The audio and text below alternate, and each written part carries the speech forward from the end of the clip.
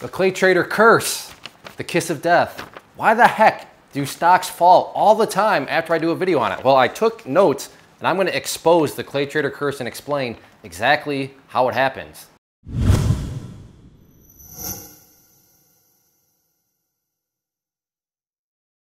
I wanna first start with three things. First, I realize that the majority of people that need to watch this video are not going to watch it. Second, I expect this video is probably gonna have a lot of thumbs down just because some people may not exactly like what they hear. And then third, no judgments on my part.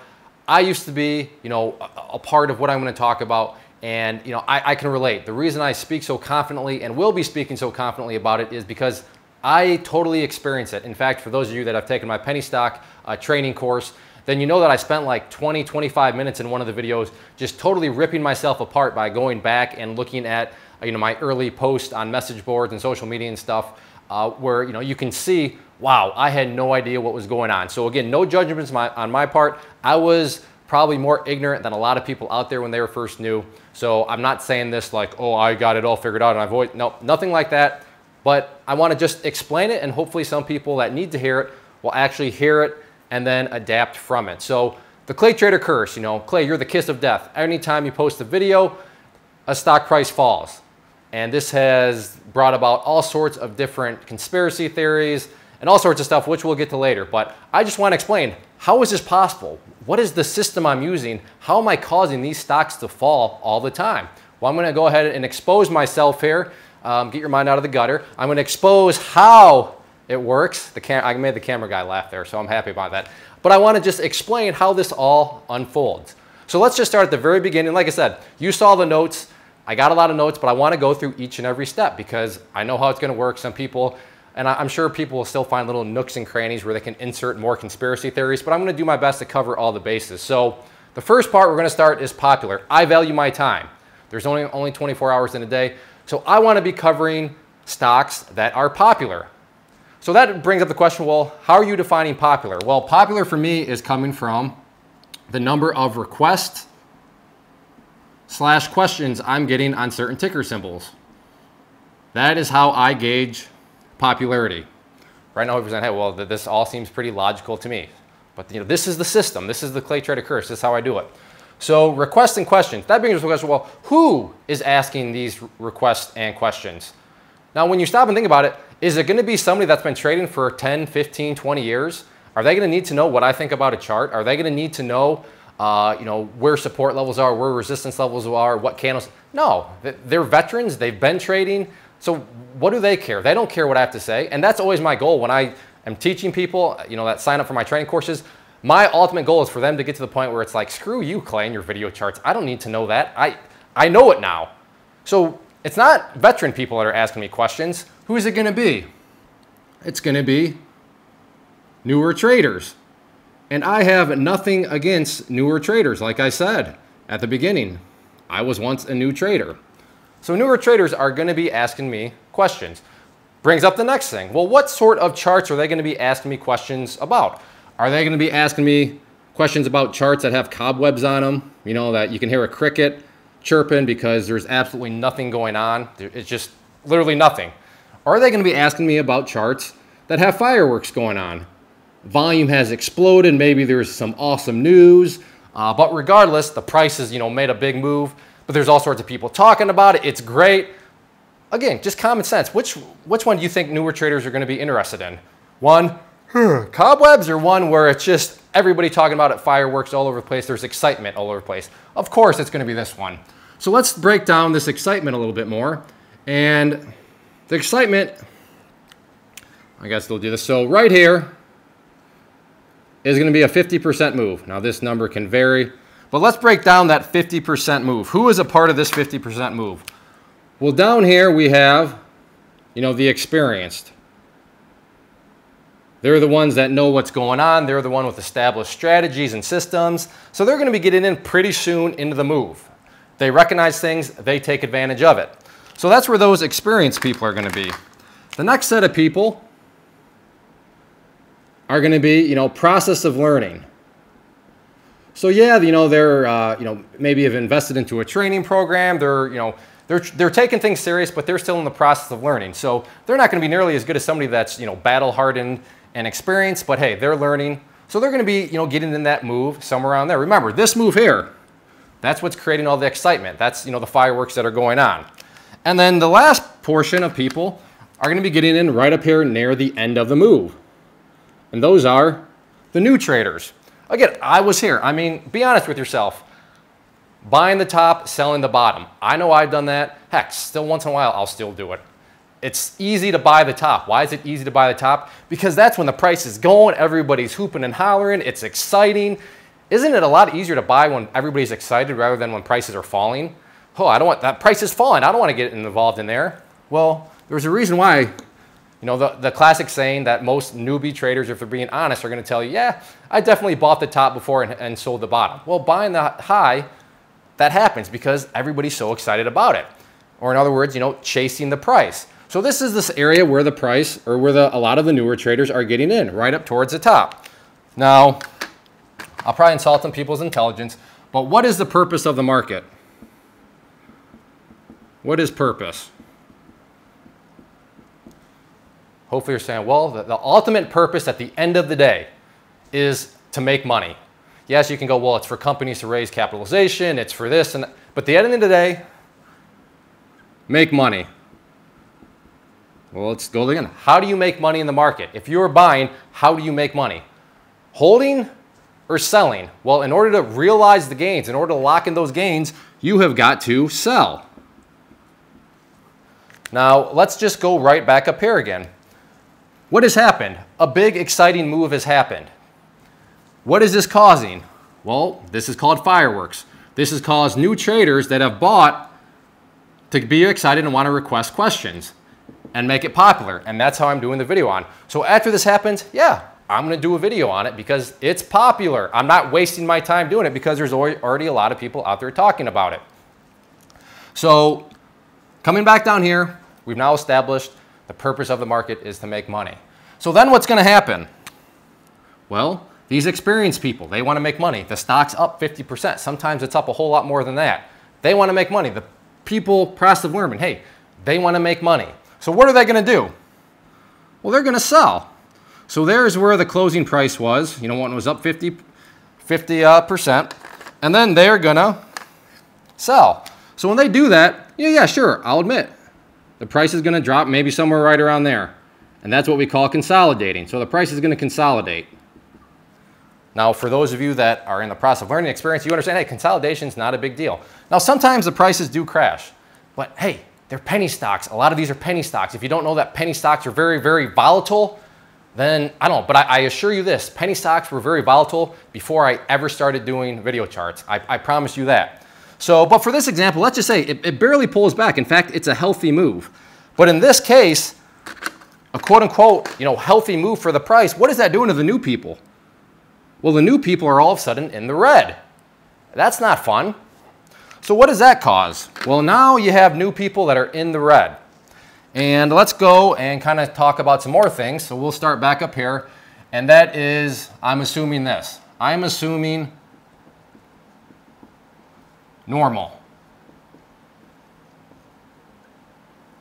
What do I mean by normal? Well, I'm assuming that you, odds are, you are a totally normal person.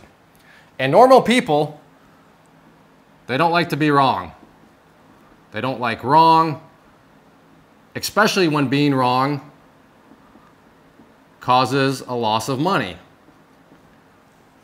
I am competitive by nature. I hate to be wrong. I hate to lose. Throwing the fact that, oh crap, now losing is making me lose money, ooh, that makes it that much worse. Do you feel that way too? Hey, welcome to the club. You're totally normal. So let's go on to the next step because people are, are, are, normal, because we have egos as people and we want to protect our ego. I'm not talking about the ego where you walk around, yeah, yeah, I'm, I'm, I'm the best. No, just a normal ego. We want to try to defend that ego. We want to make ourselves feel good about ourselves as much as possible. So because of that, people are going to look to blame external events. Very easy example of that. You take a test, you don't do very well on it. Oh, the teacher. The teacher put questions on there that didn't ever, you know, they never went over that in class. Same scenario, you get a good grade on it. Yeah, I studied hard, I'm smart. Yeah, yeah, yeah. You don't, you're not, you're always looking to blame external events. That's just basic psychology. This is not rocket science. This is just basic human emotions about normal people. Now, blaming external events. In this case, this is where the video charts come in. Hey, this guy does video charts, and those are what causes prices to go down. But a lot of people, their common sense kicks in for a second, and they think, well, that's kind of crazy. Uh, what? Some guy on YouTube does a video chart, and it causes how millions of dollars of, you know, trading volume or hundreds and hundreds of thousands of trading volume, it influences that, some video on YouTube, that has that much power. And they're going to think real quick, well, that's crazy. But what happens? Well, they see that other people are, are believing it. And then in order to kind of justify it, what do they do? Well, they, they start to come up with reasons. So how do they justify it in this exact case? Well, some, and this is really bad. Like if you're in this camp, just stop. They say, oh, it's a curse. If you are trading based on curses and, you know, superstition and all that stuff, please just stop, stop. Other people are, you know, well, he, you know, it's shorting. He runs a shorting hedge fund. He has a bunch of shorts. Him and his chat room short. He pays bashers and they short, and then he shorts, and they start to justify it because at its at its you know surface deep, it doesn't really that make that much sense. But there's some other people that believe it, and then you know when you, you justify it with you know curse or shorting group or you know who knows how goofy. Some it can get really goofy out there. But this is what's going on: justification. And this again, I'm not sitting here saying that I'm super smart. I'm just stating hopefully some basic psychology here. So everybody says that, and then because of everything we've already talked about, people want to make money, the price goes down. Oh, I was right. That's what it is. No, it, then it never crosses their mind. Wait, maybe you just had a bad entry? Maybe you're just chasing the price because you got caught up in all the excitement. I don't blame you. I bought the top many times. I chase. I still struggle with chasing right now. Because I fully realize when prices are going up, when prices are skyrocketing, and all you do is watch the price, no, it can't go up any further, and it goes up more. Now, it can't go up any further, and it goes up more. No way it goes up any further. Goes up more. This is awesome. Buy. And that's what's putting up a lot of the new people up in the higher portion of these movements, where even if it's just a healthy move, it's putting them in the red. But they don't want to blame themselves, so they come to me. But be honest with yourself. Maybe it was just a bad entry. Maybe there's not a curse. Maybe there's not some sort of shorting hedge fund or guy that's paying bashers to short. Maybe it's just simply you got a bad entry and you were chasing. And hey, welcome to the club. Welcome to the club. Embrace it. But this is where the final thing comes in. What are you going to do from it? Are you going to learn from it? Are you going to stay the same? And what's the same? A new trader. And if you're going to stay the same, well, guess what happens? That just puts you not back up here because you're probably going to stop requesting because you're going to think, oh, great. That guy, no thank you. That he, he, I don't want, I don't want to make his shorting group work. So it's not going to put you all the way back up here in the process. It's going to keep you here. But what it's going to do, it's going to pump you right up to here. So now you're going to be like, yep, I, am a believer because it happened to me, you know, once or twice. And forget the times where the price actually goes up. Now, I'm not, I'm, remember, going back to the whole teaching test. I took a test, bad grade. You're going to blame somebody else. But when you're right, confirmation bias, you're to say, yep, that was all me. That's just a basic psychological, you know, emotion term that if you've taken, you know, psychology 101, you've heard of it. But the question is, are you going to learn? Maybe accept some personal responsibility that, hey, I just simply got a bad entry. Or are you going to stay the same and then just start, you know, never wanting to cast blame on yourself, never wanting to learn? Or are you just going to want to cast blame on others? And this is not necessarily to do with just video charts. This could be anything in life. Heck, I probably still do it in some aspects of my life that I'm not aware of because we want to feel good about ourselves. We don't want to admit that we are wrong. We don't want to admit that because we were wrong, we actually lost some money. But that's just the market. That's trading. Losses happen, bad entries happen, and it's got nothing to do with what a lot of people try to conjure up. So that's real. This is the ClayTrader curse explained. All it takes is a little bit of logic, hopefully a little bit of Psychology 101 to see how us as human creatures, you know, we're creatures of emotion, act, react to things. And to me, it, it seems pretty crystal clear. So this is how I do it.